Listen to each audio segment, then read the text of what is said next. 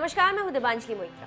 लोकसभा चुनाव के बाद एग्जिट पोल को लेकर एक तरह से दंगल चल रहा है। जिसके पक्ष में रिज़ल्ट है, वो तो मस्त है, लेकिन जिसके पक्ष में रिज़ल्ट नहीं आया, वो तरह तरह की बातें कर रहा है। बंगाल की सीएम ममता बनर्जी, आंध्र प्रदेश के मुख्यमंत्री नायडू ने एग्जिट पोल के अनुमानों को खारिज किया और कहा कि ये बेकार की बात है।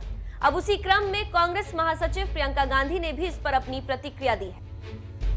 प्रियंका गांधी ने कांग्रेस कार्यकर्ताओं को संबोधित करते हुए एक ऑडियो टेप जारी किया है, जिसमें कहा है कि पार्टी कार्यकर्ता स्ट्रांग रूम और मतगणना केंद्रों पर डटे रहे। कार्यकर्ताओं को जारी ऑडियो संदेश में प्रियंका ने कहा कि, आप लोग अफवाहों और एग्जिट पोल से हिम्मत मत हारिए। ये अफवाहें आपका हौसला तोड़ने के लिए फैलाई जा रही हैं। प्रियंका ने आगे कहा कि हमें पूरी उम्मीद है कि हमारी और आपकी मेहनत का फल मिलेगा। यहाँ पर एक बात बता दें कि 19 मई को आए लगभग सभी प्रमुख एग्जिट पोल में एनडीए को बहुमत मिलने का अनुमान लगाया गया है। एग्जिट पोल के अनुमान जारी होते ही विपक्षी दलों में खलबली मच गई है। विपक्ष के नेताओं ने एक स्वर में एग्जिट पोल से नाराज़गी ज़ाहिर की। वही विरोधियों ने ईवीएम और चुनाव प्रक्रिया को लेकर सवाल भी उठाए हैं। आंध्र प्रदेश के सीएम नायडू ने ट्वीट करके कहा एग्जिट पोल्स जनता की नब्ज पकड़ने में नाकामयाब रहे हैं। एग्जिट पोल गलत साबित होंगे, क्योंकि ये जमीनी हकीकत से बहुत दूर है।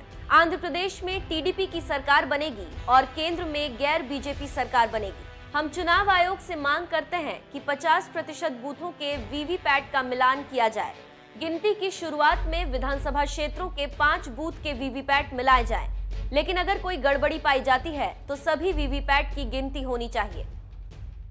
वहीं बंगाल में बीजेपी और टीएमसी की खूनी संघर्ष को आप चुनाव में देख चुके हैं। इसी बीच एग्जिट पोल पर ममता बनर्जी ने भी नायडू के सुर में सुर मिलाते हुए ट्वीट करके एग्जिट पोल को खारिज कर दिया। बनर्जी ने कहा कि, मैं एग्जिट पोल की गप पर यकीन नहीं करती। इस बकवास से हज़ारों ईवीएम से छेड़छाड़ या उन्हें बदलने की योजना बनाई जा रही है। मैं अपील करती हूँ कि सभी विपक्षी दल एकजुट हो। हम साथ मिलकर लड़ाई लड़ेंगे।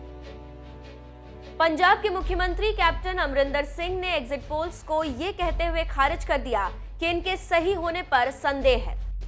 कांग्रेस प्रदेश के साथ साथ राष्ट्रीय स्तर पर भी अच्छा प्रदर्शन करेगी। कुल मिलाकर विपक्ष के नेताओं ने एग्जिट पोल को सिरे से खारिज कर दिया। अब देखते हैं कि 23 मई को होता क्या है।